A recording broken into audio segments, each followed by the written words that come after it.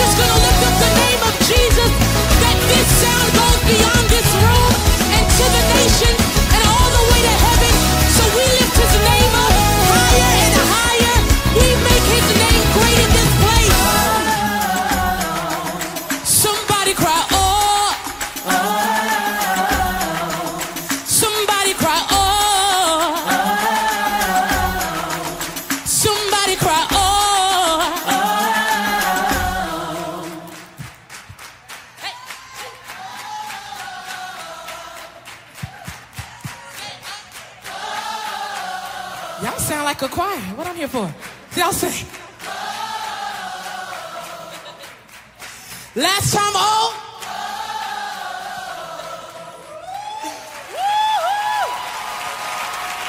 are listening to Dele Oluyemi here on All FM 96.9 on the Very Inspiration Hour, as well as on KICC, the City of Refuge Facebook Live. The track you just heard was by Casey J titled Let It Be Known. Yes, let it be known indeed.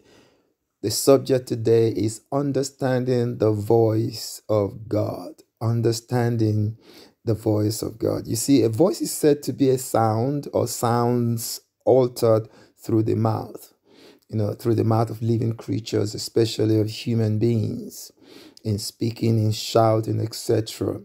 We know that in our world today, there are many voices in our world today. It's been that way throughout generation since the day of Adam. So it's not a new thing. You hear voices. Uh, the most precious, I believe, and most significant of all the voices, however, is the voice of God. The most important voice you must hear to succeed in anything you do, I believe, is the voice of God. You see, the voice of God, I dare say, is the most important thing, not just in the world, but also in life or living for that matter. The reason for this is that the voice of God is a conduit that carries the mind of God, that carries the word of God, as well as the will of God. So, words are very powerful. God exposes, expresses his mind, his word, and his will through his voice. Absolutely important. You see, until you hear, until you hear his voice, you don't know what he's saying. You don't know his word. You don't know his will for your life. That's why it's so important to hear God's voice, to hear God's word. His voice, his word, and his will are all one and the same thing. I say that again. His voice, his word, and his will are all one of the same thing.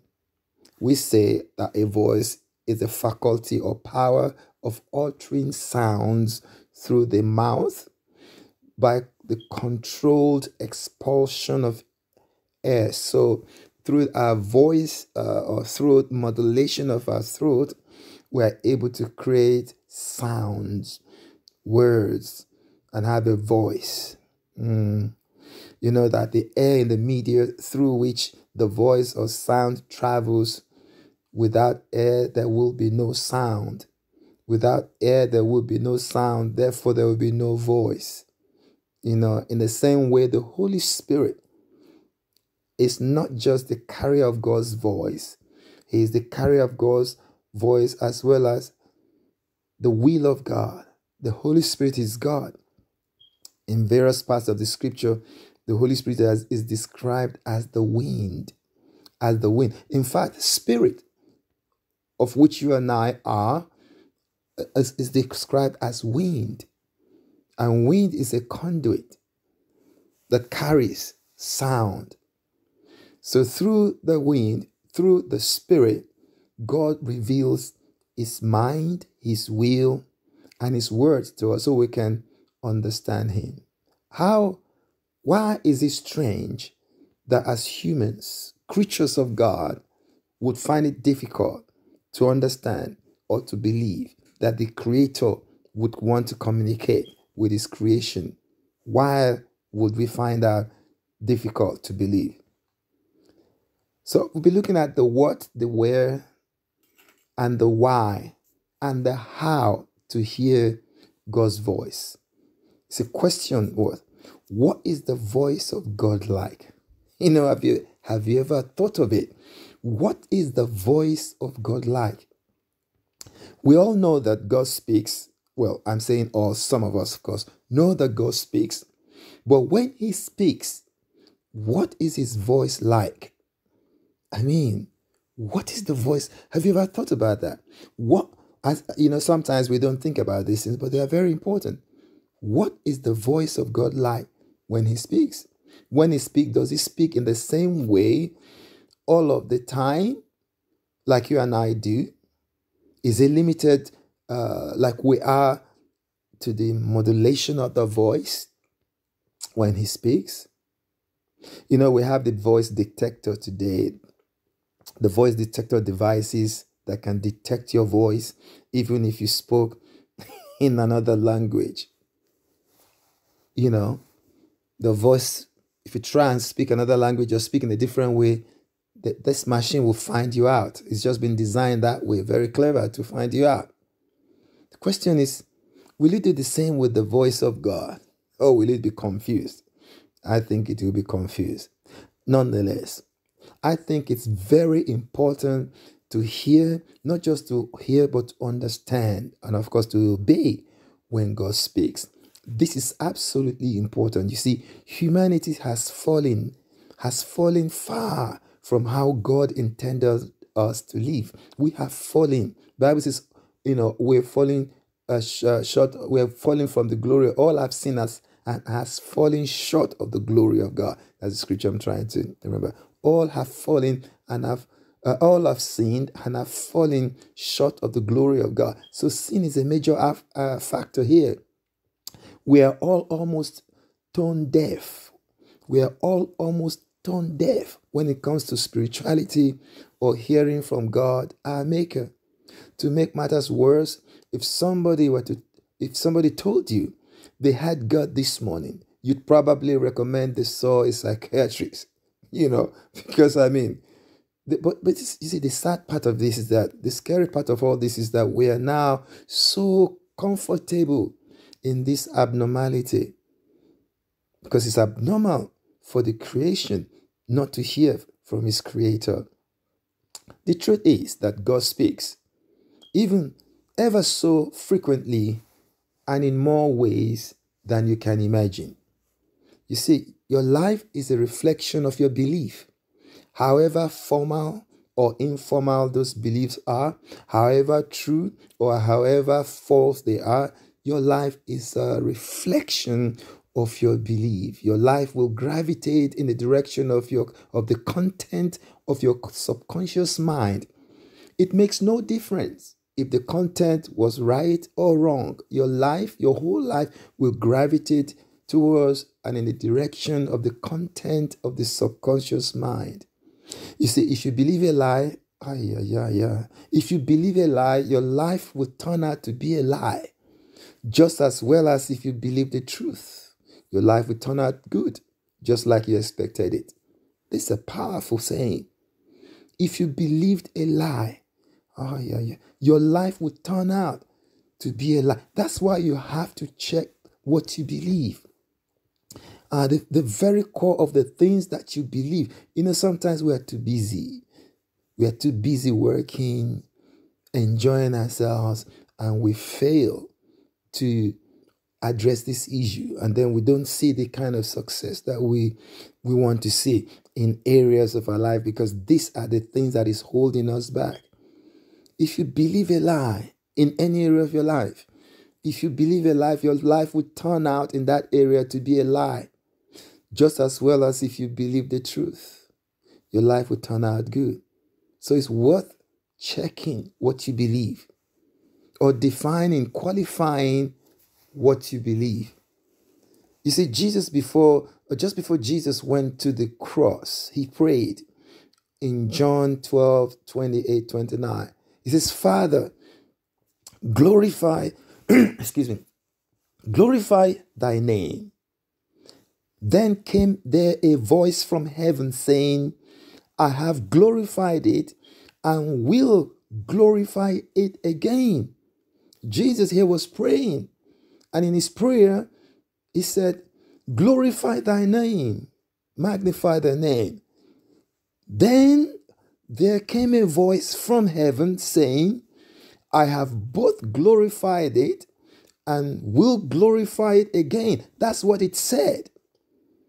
The same voice that came from heaven. Now, the next verse says in verse 29 the people, the people, the people therefore that stood by heard it and said that it thundered, and others said an angel spoke to him. Oh wow. What what what what what what was going on here? The Bible said the voice came from heaven saying, I have both glorified it and will glorify it again. That's what the voice said. But what did the people hear? The Bible says, The people therefore that stood by heard it and said it thundered. Others said an angel spoke to him, having not understood what the content was anyway. So you see, what was said, what the voice of God sp- spoke, was that I have both glorified it and will glorify it again. That is what was meant to be conveyed for people to understand. That's what Jesus himself understood. But the people that stood by heard it, but they had a different thing. Some people, all they heard was the thunder. God spoke, and all they heard there was the thunder. The other people said, Well, an angel spoke. What I'm trying to say is that you can be in a place and God speaks and never hear him. Like some people heard him as though it thundered. Some people heard it in the same place as though an angel spoke. But he heard clearly what God speaks. I want you to know that hearing God is your birthright. Hearing God and hearing Him clearly, not in parables, is your birthright. And I pray that going forward you will hear Him in Jesus' name. I'm going to stop here and play a song titled Atmosphere by Kaya, Matthew, and Vision Michelle. And I will be back in a moment.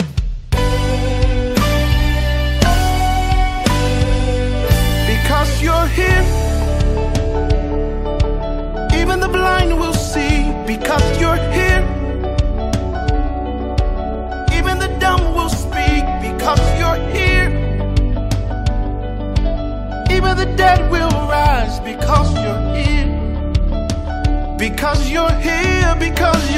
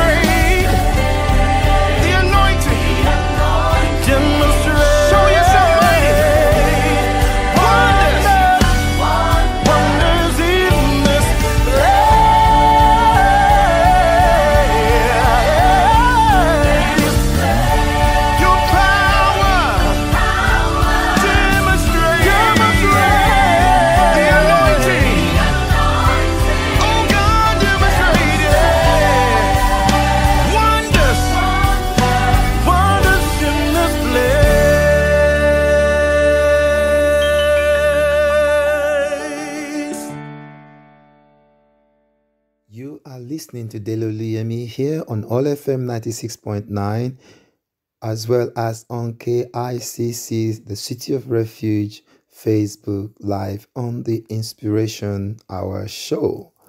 I'm talking on the subject of understanding the voice of God. Question is, what is God's voice like? Have you ever thought of it? What is God's voice like when He speaks? You know, John on the Isle of Patmos said this about God. He said this about God in Revelations 1:15. He says his feet were like burnished bronze when it has been made to glow in the furnace, and his voice was like the sound of many waters. Oh, glory to God. He said, when he heard God on the Isle of Patmos, the Bible said this he had the voice of God. It sounded like the voice of many waters. According to Apostle John, God's voice was like the voice, the sound of many waters. You know, like the coming together of many waters. It's almost like, you know, like when you go to the beach side and you hear the sound of the waves, something like that I'm alluding to uh, in, in, my imagination that, that John had it some somehow like that. Previously in the book of Ezekiel, Ezekiel said the same thing that was very similar in Ezekiel 43 verse 2. It says, And behold, the glory of God of Israel was coming from the way of the east and his voice was like the sound of many waters, and the earth shone with his glory. Oh, glory be to God. His voice, the sound of many waters, and the earth shone with his glory. You see, God is not limited in the way he speaks. He can speak in any way he wishes to convey his message. He's not limited in the way that he speaks. The psalmist said in Psalm 60, 68, verse 33, it says, To him who rides upon the highest heavens, which are from ancient times, behold, he speaks forth with his voice, a mighty voice. Oh, glory be to God. He says, The voice of God is a mighty voice. You see, because when God speaks, when God speaks, everything comes to attention. Everything must bow in honor, reverence, and respect because his voice is mighty when he speaks. No matter how confused you are when God speaks, night turns to day. There is clarity and direction when God speaks. This is why it's so important, my, my brothers and sisters, that we tune our ear to hear from God, that we develop our ear to hear from God. Don't forget that your adversary, the adversary, Satan, knows that the, the, the worst he can do to you or do against you is to stop you from hearing from God. You know, when, when he stops you from hearing from God, then you are confused. You don't know where you are going, you don't know what to do. So he will do everything to make sure that you don't hear from God, you know, including trying to make you feel that God doesn't want to speak to you or God doesn't speak at all, etc. The devil is a liar, is the father of liars. The Bible says God speaks, you know, no matter how confused you are, when God speaks, night turns to day. When God speaks, there is clarity. When God speaks, there is direction. When God speaks, there is life, there is strength, there is hope, there is faith when God speaks. There is power when God speaks. That's why it's so important that you and I must hear God. We must hear God. You know, why you need to hear God's voice. I'll, I'll, tell you why you need to hear God's voice. You know, you go, you can go through anything when you hear His voice.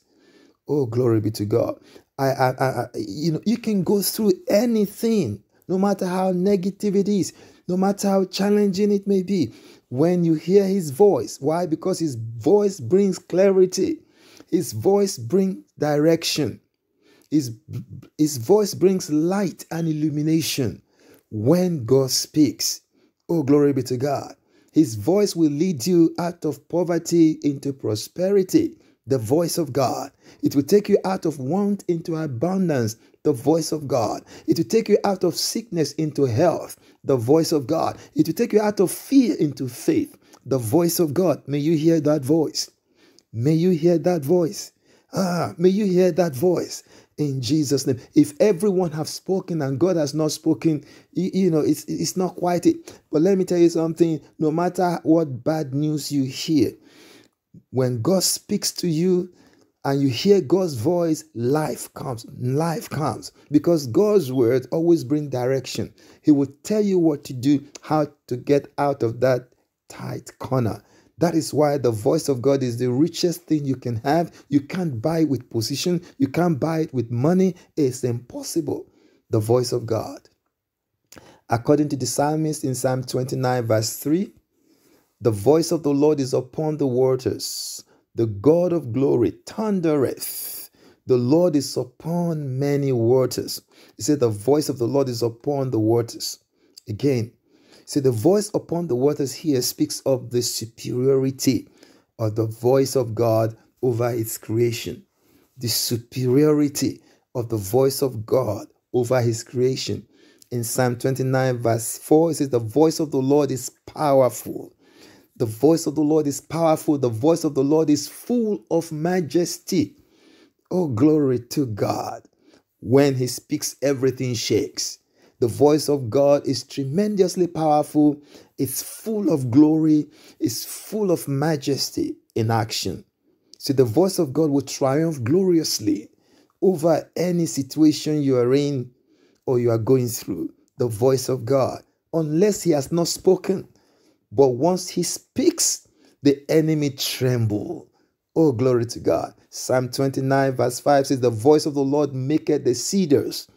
Yea, the Lord breaketh the cedars of Lebanon. Cedars are known to be thick, strong trees.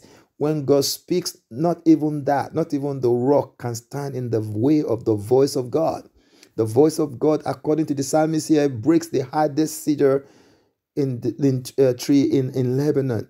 No matter how hard, no matter how hardened hardship you are going through, when God speaks, his voice shatters it into pieces no matter how confused you are, no matter how defeated you are, when God speaks into your situation, there has to be a turnaround when God speaks. You see, Psalm 29, verse 6 says, He maketh them to skip like a calf. That's the voice of God. He makes even the mountains, He makes these trees to skip like a calf. Lebanon and Sirion like a young unicorn. See, the mountain Sirion, for example, will skip like a unicorn at the voice of the Lord. That's the psalmist trying to just give us a painting, to give us a picture of how powerful, majestic oh, the voice of God is. When God speaks into your situation, every mountain on your way will skip like the unicorn. They will literally move out of your way when God speaks. You know, when God speaks, it cancels the word of man. No matter how powerful the most powerful world man in the world, the most powerful man, women in the world come together when God speaks. If He speaks according, uh, contrary to what what they had said before, what God says now is what will stand because the word of God is the voice of God, the word of God, the will of God is superior to the voice of God, to the voice of man, rather, the will of man and the purpose of man. The voice of God is superior to all of those. You know, in Psalm 27, 29, verse 7, it says, The voice of the Lord divided the flames of fire. Oh, glory be to God. See, the mountain, it says, it says, the voice of the Lord divided the flames of fire, no matter what you are going through when God, even this COVID 19 situation, when God speaks in your personal situation, remember when they heard it in the previous scripture I read, at least there are three classes of people there. Jesus was there when he made that prayer and, and God answered him. We know that there were other two classes of people that heard the voice of God. Some said it thundered, some said he spoke to an angel. So you see, you can be in the midst of a crowd and you can be the only one that heard God in that crowd. It's not about numbers, it's about relationship. It's not about numbers. You know, they say it's often said that you can be in a crowd and, and crowd and still be lonely. It's that kind of thing. It's about connective, it's about connectivity, it's about openness. This is Psalm 29, verse 8 and 9 says, The voice of the Lord shaketh the wilderness, and the Lord shaketh the wilderness of Kadesh. The voice of the Lord maketh the hinds to calve. Oh, glory to God. And discovereth the forest. In his temple that everyone speak of his glory. That is the voice of God. That is the voice of it makes the barren to become fruitful. The voice of God will make you productive, both biologically as well as uh, in your mind, as well as from your mind. The voice of God will make you produce. It will take you from barrenness to fruitfulness. The voice of God, from inactivity to productivity. God, the voice of God will bring you illumination. It will take away confusion from your from your life. The voice of God. The voice of God. I pray that God will speak to you. I pray that you will hear the voice of God in Jesus' name. I'm going to play a track titled Testimony by Anthony Brown. Don't go anywhere. We'll be back. to everyone. Everyone who made it, Yeah, any test or trial, hopeless situation. that situation. Now you have a hmm. story. The angels can't sing. Just can't sing in glory. You're redeemed. You're redeemed Yeah. Here we go. Whether it's in the courtroom, fighting in the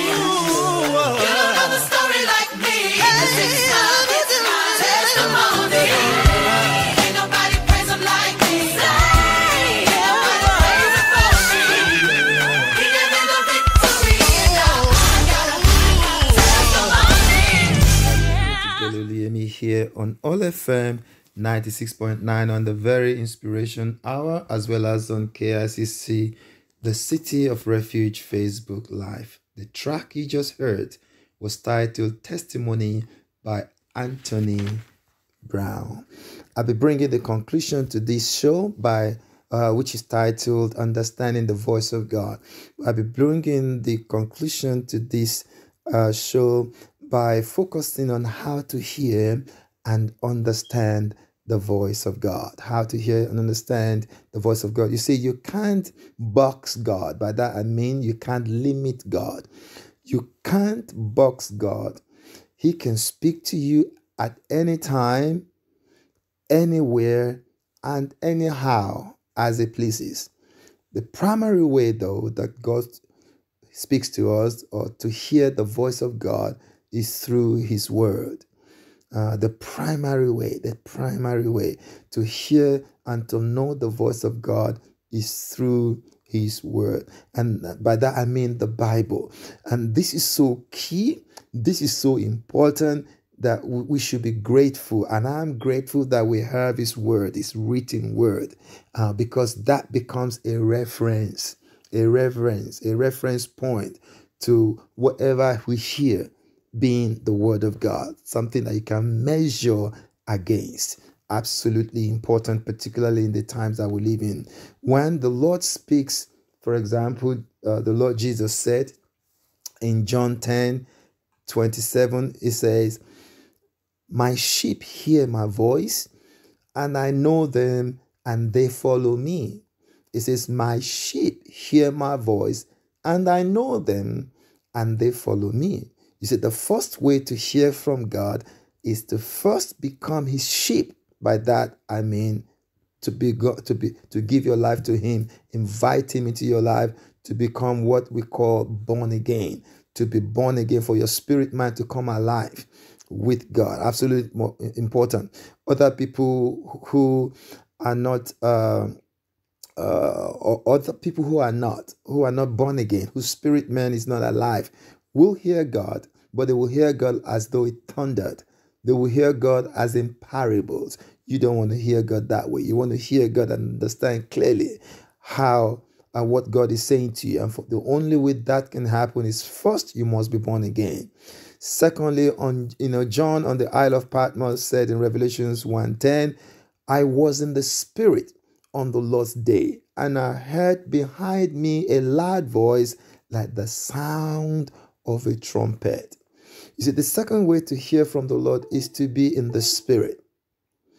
In the spirit. He says, John says, I was in the spirit on the Lord's day. He said he was in the spirit. A lot of people are just only in the flesh. He says, I was in the spirit on the Lord's day, and I heard behind me a loud voice like the sound of a trumpet. See, the sound, the the the the, the second way to hear from the Lord is to be in the spirit. Is to be into in the spirit. Absolutely important. You are born of the spirit. The voice of the spirit is yours to hear. It's your birthright.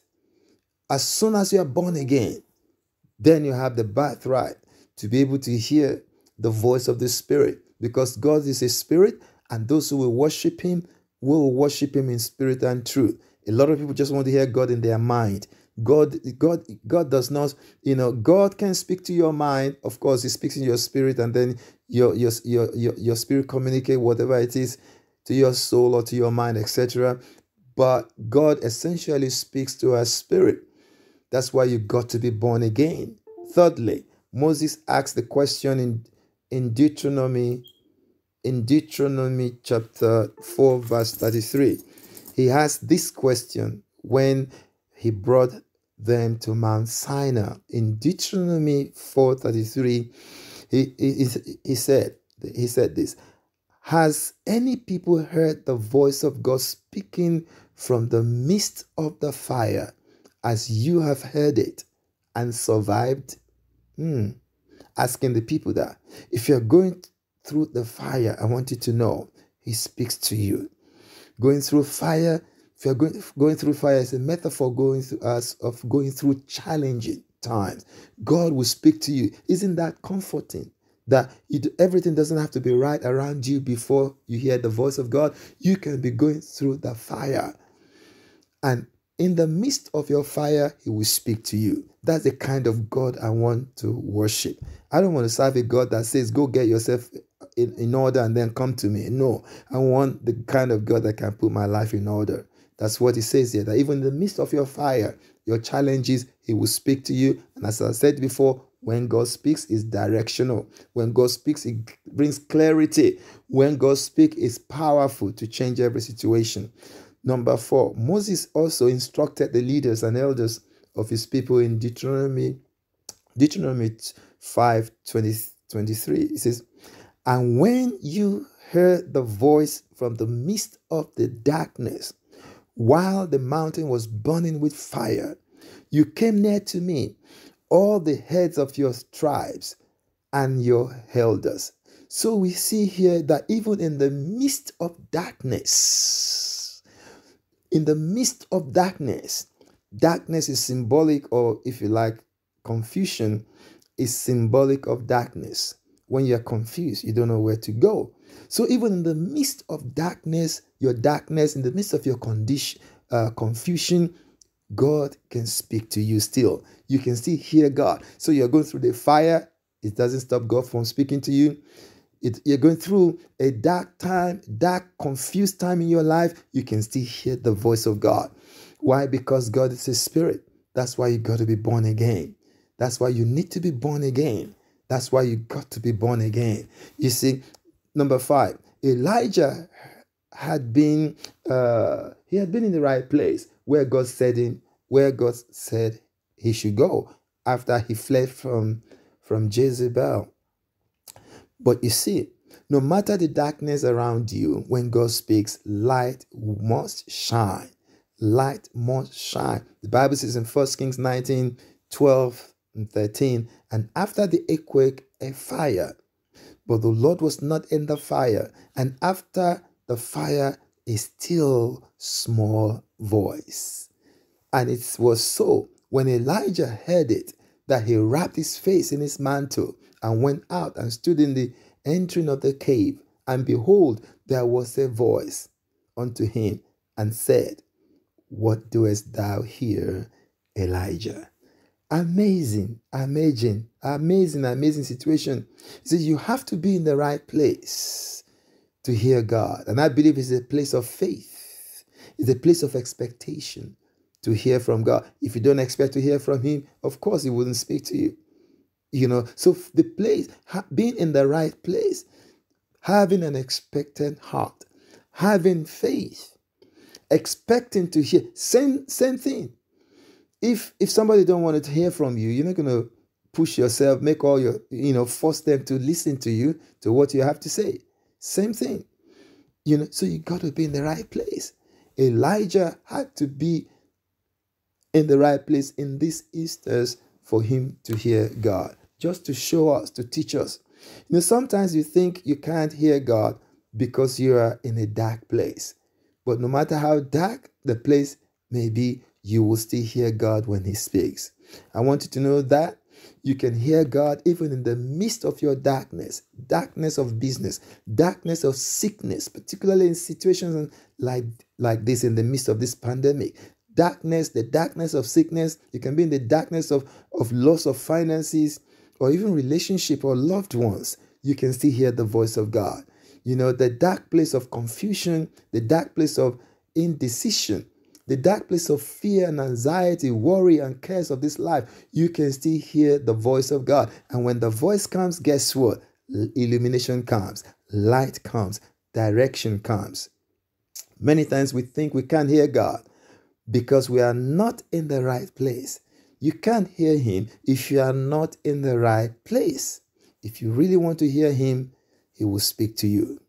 If you really want to hear God, God will speak to you. The reason most people don't hear God is because they have never bothered. They have never positioned themselves. Like Elijah went to the cave because God told him there he was going to speak to him there. And he was at the right place at the right time. And he had expectation. He expected to hear from God. if you don't want, if you don't train yourself, if you don't discipline yourself, if you have no expectation to hear from him, of course, he will not speak to you. Like I said earlier on in the in this service, uh, in this in in this uh, uh, show, that your expectation what you believe. Your life gravitates towards what you believe. If you believe that He will speak to you, He will speak to you. If you don't believe that you will hear from Him, of course you will not hear from Him. And what? Why is the Word of God so central in all of this?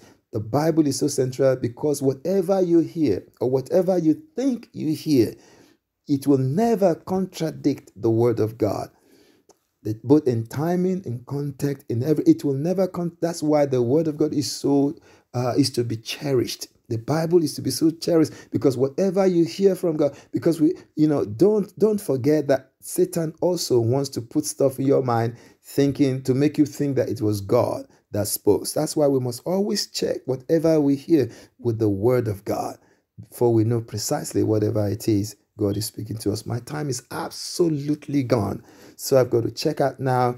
Until next time, the last. Uh, music I'm going to play is titled Kukuma or Kukuma by Amanda Malela. I'm sure you'll be blessed at this. We're going out in a high. May God bless you, increase you, empower you.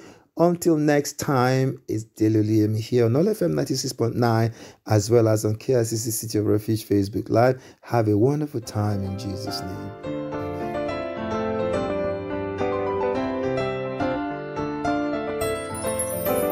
Why do you look at me this way, oh daddy? Oh daddy. What is it that you wanna say, oh shitty? Oh shitty. Put you my way, and that I know for sure. Just say the word and I say yes. Just get down on one knee.